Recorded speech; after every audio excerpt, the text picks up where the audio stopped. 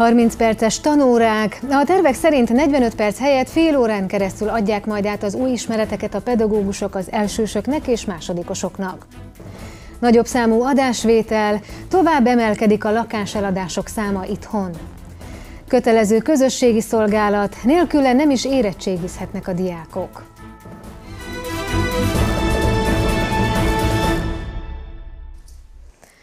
Nem lesz új csengetési rend jövőre a 30 perces tanórák bevezetésével. A Kölcsei Televízió híradóját látják. Köszöntöm Önöket! A tervek szerint 45 perc helyett fél órán keresztül adják majd át az új ismereteket a pedagógusok az általános iskola első és második osztályában. A fennmaradó 15 percben akár játszhatnak is a gyerekek, hangzott el a mesterpedagógusok második Sonkádi Szabad Egyetemén. A rendezvényen a köznevelésért felelős helyettes államtitkár kiemelte, az ingyenes tankönyv felmerő rendszerű biztosítása mellett a digitális oktatási lehetőségekről is értekezik a szakma. Több száz mesterpedagógus vett részt a csütörtökön kezdődő, egész hétvégén át tartó második Sonkádi Szabad Egyetemen. Tilki Attila országgyűlési képviselő a rendezvény megnyitóján kiemelte, a Szatmári község azért ideális az országos továbbképzés megtartására, mert a térség gyorsan reagál az oktatási rendszer változásaira. Talán ezért is fontos, hogy itt rendezzük meg. A Szatmári térség ad otthont a rendezvénynek, hiszen aprófalvas település szerkezetű térség, kisebb iskolákkal, ami talán a leghamarabb veti föl az olyan kérdéseket, amelyre központi oktatás irányítási szinten reagálni kell. Azon túl persze, hogy a szatmári vendégszeretet azért nem csak a megyében, hanem szerintem most már az országban is méltán híres. Sonkát község polgármestere a rendezvény főszervezőjeként elmondta, a második szabad egyetemen közel 500-an vesznek részt. A mesterpedagógusi továbbképzésre a határon túlról is érkeztek. Az idén Szabad Egyetem témaköre leginkább a kerekasztal eredményeire, a megbeszéléseire, illetve a köznevelést érintő változásokról szól. Iránymutatás lesz a jövőt illetően.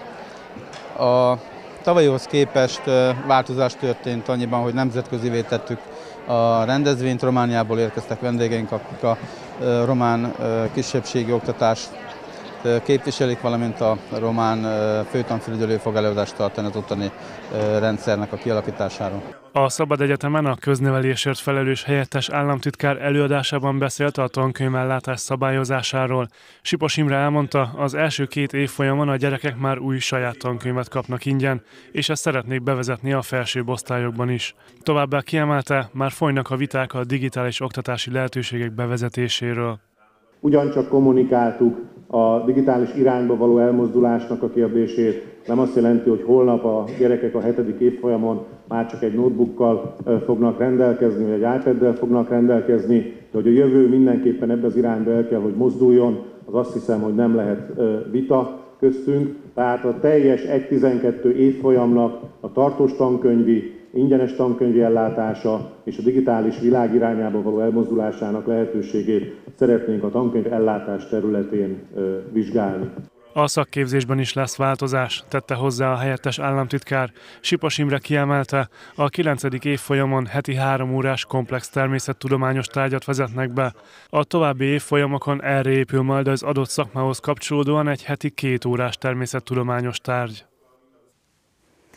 Tovább emelkedik a lakás eladások száma itthon, magasabb áron kelnek el a vidéki használt ingatlanok is, mint tavaly. 2015-ben 48 ezerhez közelített az adásvételek száma. Az elemzők szerint az év végéig a támogatott lakáshitelek még nagyobb mozgást hoznak az ingatlanpiacon. Az adásvételi szerződéseknél figyelni kell a hitelminősítésre és a szerződésben foglalt határidők betartására. Ingatlant keresnek az egyik nyíregyházi ingatlan közvetítőnél folyamatos az érdeklődés a lakások, a házak iránt. Inkább a használt ingatlanra vesznek fel hitelt a fiatalok, a családosok. Az otthonteremtési támogatásokat vidéken is kérik, növekedett a pénzintézeteknél. A kihelyezett hitelek mértéke is országos átlagban 5-10 milliót vesznek fel lakásvásárlásra a családok. Előleg, csok és hitel. A leggyakoribb, hogy ilyen részletekben teljesítik a kifizetést lakásvásárlásnál. Ha az ingatlant hitelből vagy támogatott hitelből szeretné megvásárolni a vevő, célszerű pénzügyi közvetítő segítségét kérni, hiszen a piacon sokfajta konstrukció van, nem mindegy, melyik a legelőnyösebb a vevő számára. Első körben mindenféleképpen egy úgynevezett előszűrés történik, amikor megnézzük, hogy az illető hitelképes. Ha hitelképes, milyen kondíciókkal, milyen típusú hiteleket tud felvenni, és mely, melyek azok a bankok, amelyeknél a legkedvezőbb lehetőségei vannak. Ez mindig személy és ügyletfüggő. Fontos, hogy a vevő az adásvételi szerződés megkötéséhez a banki hitelminősítést minél hamarabb beszerezze, majd pedig általában 10% vételár előleget vagy foglalót ad át az eladónak. Foglaló az egy szerződéses biztosíték. Ez az eladót is és a vevőt is biztosítja arról, hogy ez a szerződés teljesedésbe fog menni jó esetben. Ugye, ha az eladó megkapja ezt a foglalót, akkor gyakorlatilag ezt az ingatlant már nem értékesítheti másnak, a vevő pedig ugye megnyugodhat, mert megtalálta ezt az ingatlant. Amennyiben nem megy teljesedésbe a szerződés, akkor ennek van egy jogi szankciója. Az, ha az eladó oldalán merül fel bármilyen ok, ami miatt nem megy teljesedésbe a szerződés, tehát azt mondjuk az eladó hibájából, akkor kétszeresen köteles visszafizetni, ha a vevő eláll az adásvételtől, elbukja a foglalót. Az ingatlan adásvételi szerződést a PTK szabályozza, ügyvéd jelenlétében kell írni. Fontos az ingatlan árának teljesítését is rögzíteni a szerződésben, hogy ne legyen csúszás. Ha csok van, az nem hosszabbítja meg a, a hitelnek az átfutási idejét, és a folyósítást az általában egy olyan négy hét, ha hitellel együtt van, akkor is. Akkor lehet jelentősége ennek a határidőnek, ha mondjuk terhelt az ingatlan, ha esetleg több teher van rajta. De ezt is, hogyha nagyon jól előkészítjük, akkor tudjuk tartani az általunk megjelölt határidőket. A teljes vételár kifizetését követően az új tulajdonosnak be kell jegyeztetnie magát az ingatlan nyilvántartásba a földhivatalnál. Így alakulnak a lakáspiaci tranzakciók itthon 2001 és 2016 között. 2003-ban járt a csúcson a lakáseladások száma, a növekedés 2015-ben indult el újra. Évente másfél százalékkal több ingatlanadásvétel történik országosan. Ma van a köztisztviselők és az egészségügyben dolgozók fekete napja, jelentette ki sajtótájékoztatóján Halmi József, az MSZP megyei alelnöke. Az ellenzéki politikus szerint a jelenlegi kormány nem értékeli ezt a két társadalmi csoportot. A bérük alacsony, a köztisztviselőknek nincs életpályamodelljük. Az egészségügyet pedig azok a dolgozók tartják még fent, akik nap mint nap becsületesen elvégzik a munkájukat, a nehézségek ellenére is. A kormánynak ők nem emberek, a kormánynak az az ember, aki pénzt tud bevinni a rendszerbe, és ők tudnak kivenni. Egyszer bízunk benne, hogy a munkájuknak megfelelő megbecsülést kapnak, és hozzá megfelelő fizetést. Mi köszönjük a Magyar Szocialista Párt nevébe a munkájukat, köszönjük, hogy a lakosságért dolgoznak minden nap, és működtetik mind a két területen a rendszert. A szociális nevelést segíti a 2011-ben bevezetett 50 órás közösségi szolgálat, nélküle nem is érettségizhetnek a diákok. A középiskolások önkéntes alapon 8 területen vállalhatnak munkát, például az egészségügyben vagy a kultúra területén. Az egyik nyíregyházi alapítvány egy külön tananyag modult is kidolgozott, mind a diákok, a befogadó szervezetek és az iskolások segítésére. Nagy segítség a középiskolások munkája a laborkaféban is. Az 50 órás közösségi szolgálatot akár itt is teljesíthetik a diákok. Közös megbeszélés alapján több feladatot is vállalhatnak. Segítünk a betérő vendégeknek tájékozódni, meg a rendezvényeket megszervezni, illetve segíteni ott pakolászni. Tavaly 25-en teljesítettek közösségi szolgálatot itt, van, aki azonban a kötelező óraszámon túl önkéntesként is itt marad a kávézóban. 50 óra már megvan, csak annyira tetszik ez a hely, hogy sokat járunk ide. Az egyik nyíregyházi alapítványhoz tartozó kávézó nem csak helyet biztosít a közösségi szolgálatos diákok számára, mentorálja is az egész folyamat megvalósítását. Ez az 50 óra nem olyan hosszú intervallum, hogy, hogy minden ö, mélységében megismerje egymást a szervezet és a, a diák, de az lenne a cél, hogy az 50 óra után is ott maradjon egy-egy szervezetnél egy diák, és ezt mi úgy gondoljuk, az alapítvány tapasztalata az, hogy ezt minden szereplőnek meg kell tanulnia, hogy ezt hogyan lehet hasznosan tölteni, hogyan lehet ezt a rövid időt is olyan hatékonyan és tartalmasan felhasználni, hogy mindenki elégedett legyen. Erre dolgoztunk ki különböző tananyagmodulokat, amiket egyrészt online, másrészt pedig itt a Tabula Plaza Alapítvány közösségi terében lehet kérni és igénybe venni. A modul nem csak a diákoknak, hanem a fogadó szervezeteknek, cégeknek és a küldőiskoláknak is segítséget adhat. Országos átlagot tekintve a legtöbb oktatási intézmény az érettségi előtti évre koncentrál, és főleg a 11. évfolyamban szervezi meg a közösségi szolgálatot. Szabolcs megyében jelenleg 7067 diák tanul ebben az évfolyamban.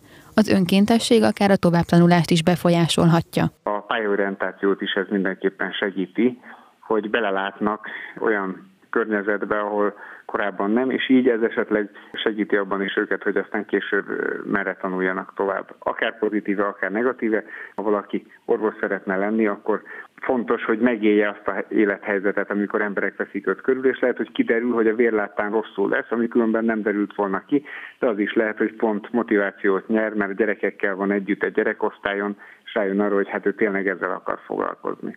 Tehát minden értelemben ez ilyen módon is segítség, azon kívül, hogy a saját személyiségi fejlődésüket is ez segíti. A közösségi szolgálat vezetője hozzátette, a mai sikerorientált társadalomban fontos, hogy a diákok szociális érzékenysége is kialakuljon, és önkéntes alapon is segítsenek a mellettük élőknek. Ennek megalapozásában segít a közösségi szolgálat. Holtestet találtak egy lakóház oltása közben Nyírbogáton. A településen egy körülbelül 60 négyzetméteres ingatlan gyulladt ki ma reggel. A tűzoltók munkájuk közben találtak rá a holtestre. Az eset okát, körülményeit még vizsgálják. Két motorossal ütközött egy kamion Csengerben, az egyik motorkerékpáros a helyszínen életét vesztette, a másik életveszélyes sérüléseket szenvedett. A baleset információink szerint úgy történt, hogy a kamionos egy mellékútra akart lekanyarodni. Egy szemből érkező autót elengedett, utána kezdte a manővert, ám ekkor már érkezett a két motoros, akik így a vontatmánynak ütköztek és felborultak. A körülmények tisztázása érdekében eljárást indítottak. Megyénk tűzoltói mérték össze tudásukat egy versenyen, a részletekről hamarosan. Előtte nézzük a híradó további témáit. Rudolf Gergelyel erősítette meg támadó sarát a Nyíregyháza Spartakusz. A 28-szoros válogatott játékos három évre kötelezte el magát a klubhoz. Vasárnap első alkalommal rendezik meg a kerékpározók megyei bajnokságát. A viadal rajtja és célja Vásáros Naményban lesz. A résztvevők a Tisza töltésén tehetik meg a 40, illetve 70 kilométeres távot.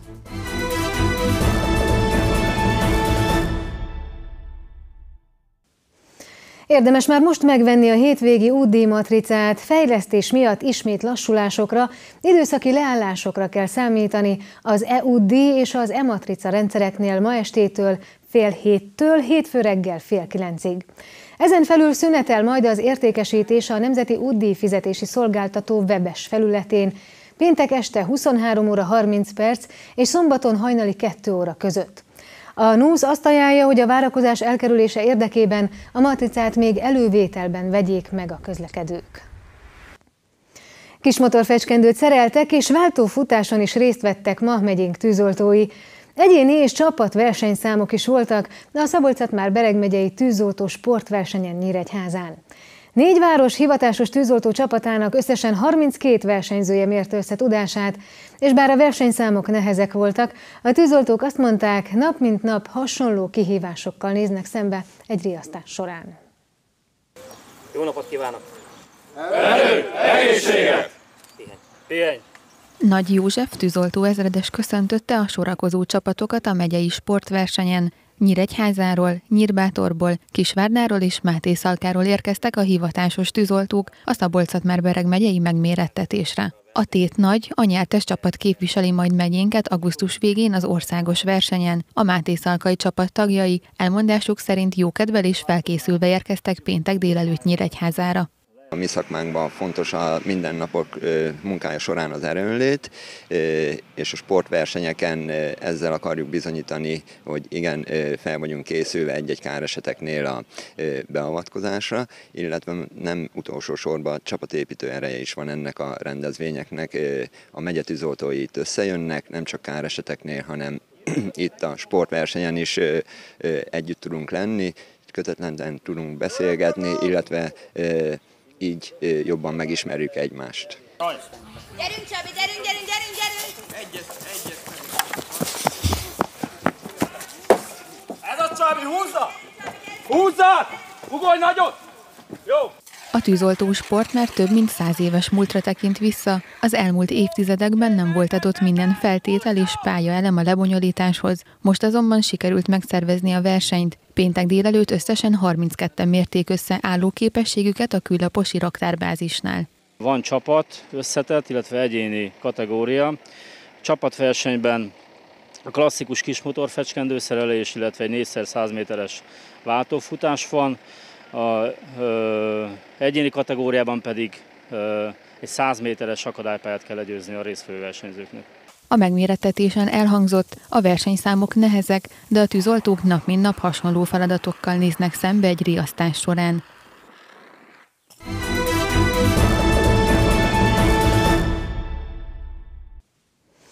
Rudolf Gergelyel erősítette meg a támadó sorát a Nyíregyháza Spartakusz. A 28-szoros válogatott játékos három évre kötelezte el magát a klubhoz.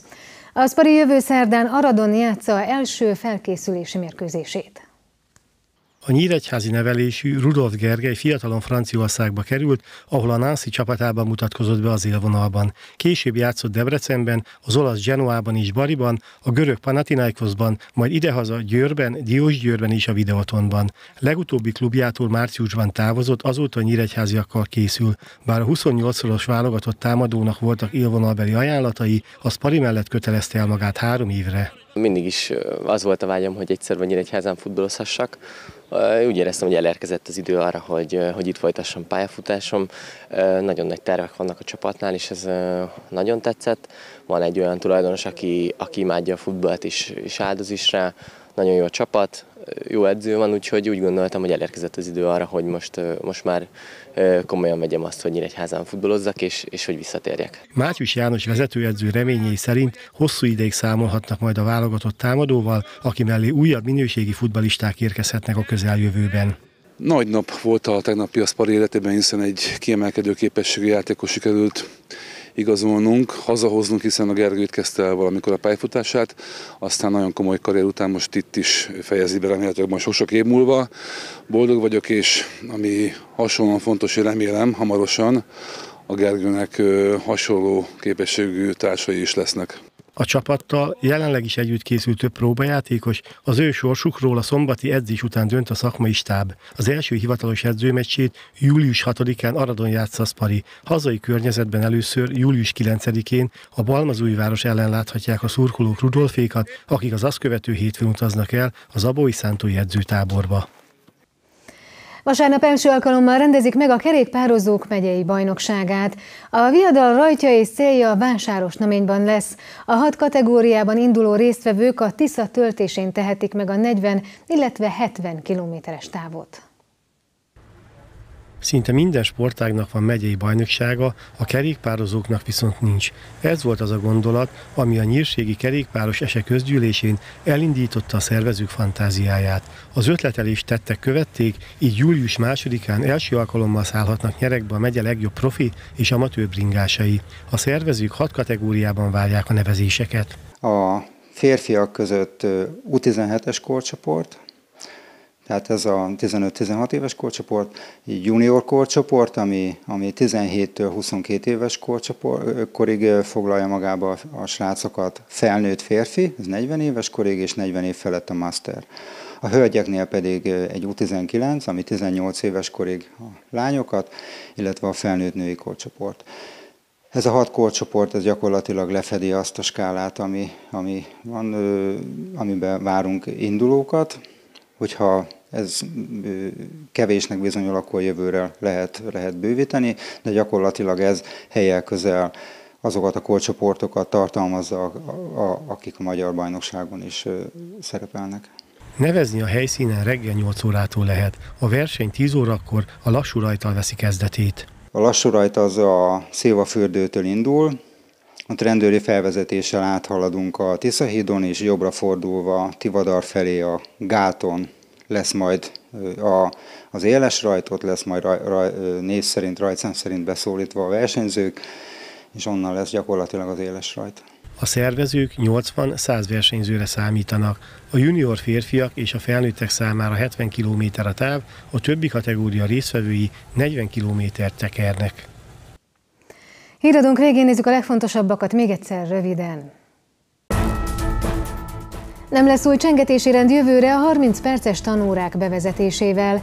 A tervek szerint 45 perc helyett fél órán keresztül adják majd át az új ismereteket a pedagógusok az általános iskola első és második osztályában.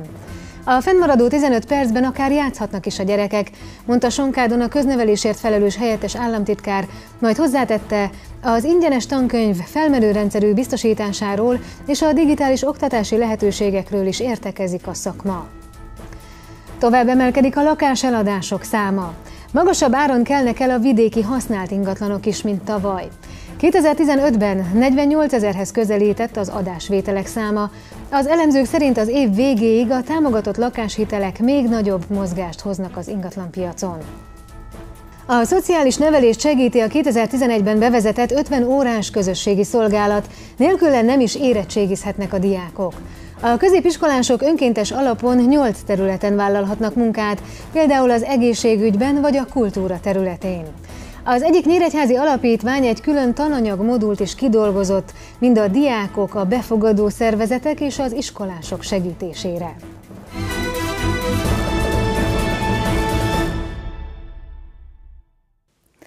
A Kölcsei Televízió híradóját látták július 1-én pénteken. Szombaton és vasárnap heti hírösszefoglalónkkal a Krónikával jelentkezünk. További hírekért és videókért pedig látogassák honlapunkat. Én köszönöm szépen a figyelmüket, viszontlátásra! Thank you.